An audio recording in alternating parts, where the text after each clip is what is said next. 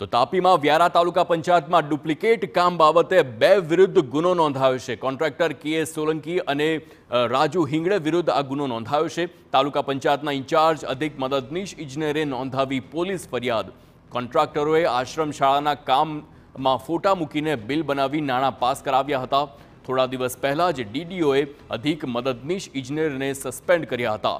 વ્યારા પોલીસે બંને કોન્ટ્રાક્ટરોને ઝડપી પાડવાની કામગીરી હાથ ધરી છે.